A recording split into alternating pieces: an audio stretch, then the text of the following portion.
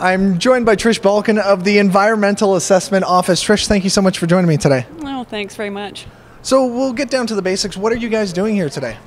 We are here as part of our program to gather public uh, comments on the various pipeline projects. This one in particular is Coastal GasLink. It's uh, proposed by TransCanada. And if we can just dull it down even more, what is the Environmental Assessment Office?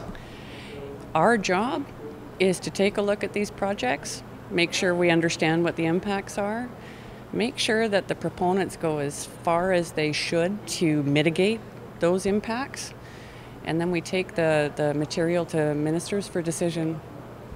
And how's the reception been thus far in the Chetwynd area? No, it's been great. Um, you never know what you're going to get for attendance in these, and so far we're seeing great attendance and a wide variety of, uh, of interest here, too. And how many of these uh, different organizations have you been a part of? Well, I think most people would say, um, if they've been following these, that there's there's a lot. For this particular file, we did four open houses last year, and uh, this is the first of four more. And where are you off to next?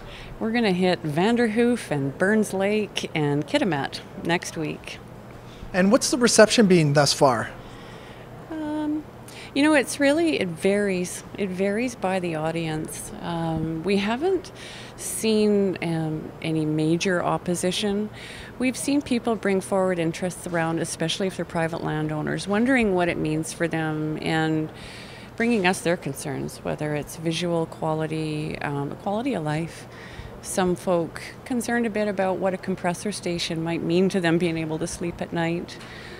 Um, these are really, really important venues for people to get out and talk to us about because we take those concerns and we work with the proponent to make sure that they're managed to the extent we can. And have you been to Chetwynd before?